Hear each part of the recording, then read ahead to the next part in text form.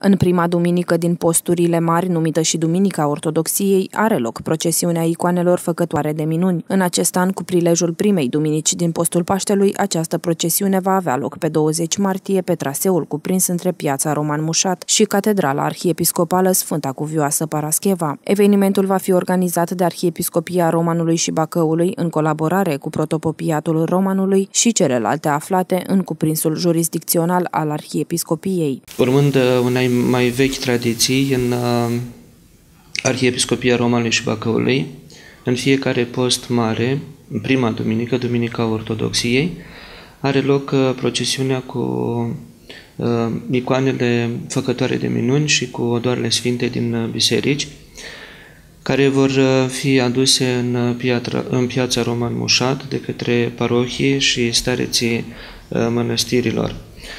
E o aducere aminte a unei sărbători instituite în anul 843 uh, în sinodul uh, de la Constantinopol, la sfârșitul celei de-a doua perioade de persecuție a icoanelor, după ce în anul 787, uh, la sinodul al șaptelea ecumenic de la Niceea, s-a stabilit și s-a statornicit ca icoanele să facă parte din patrimoniu și să primească și să li se acorde cinstita, uh, cinstirea cuvenită. În, uh, de câțiva ani buni, în Duminica Ortodoxiei, repet, prima duminică din post, se organizează această procesiune pe același traseu, piața Roman Mușat, Catedrala Arhiepiscopală, așezată sub uh, ocrotirea Sfintei Cuvioase Parascheva, Înaintea evenimentului care va avea loc duminică s-a lansat în școli concursul numit Icoana Fereastră către cer cu tema Isus, model absolut pentru fiecare dintre noi. Începând cu ora 17, romașcanii sunt uh, așteptați în piața Roman Mușat, acolo unde la început se va săvârși slujba de Tedeum, oficiată sub protian al Preasfințitului Părinte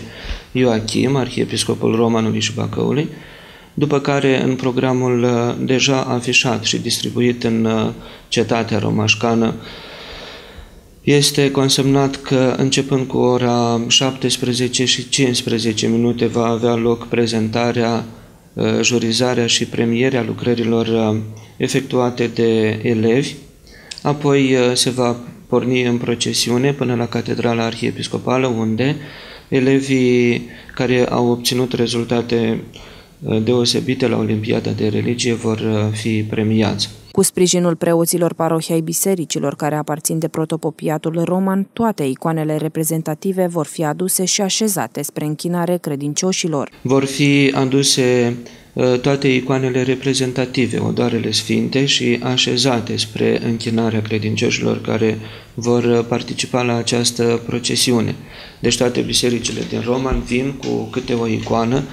la rândul lor, uh, menoria și credincioșii, cetățenii municipiului Roman sunt așteptați să poarte și ei câte o icoană care la sfârșitul slujbei de Tedeum va fi stropită cu aghiazmă, cu apă sfințită. Arhiepiscopia Romanului și Bacăului nu vede cu ochi buni prezența la astfel de evenimente a comercianților de icoane și așa zise obiecte sfințite, precizând că activitatea este una cultural-religioasă și nu una comercială. La sfârșitul procesiunii, juriul va oferi elevilor diferite premii.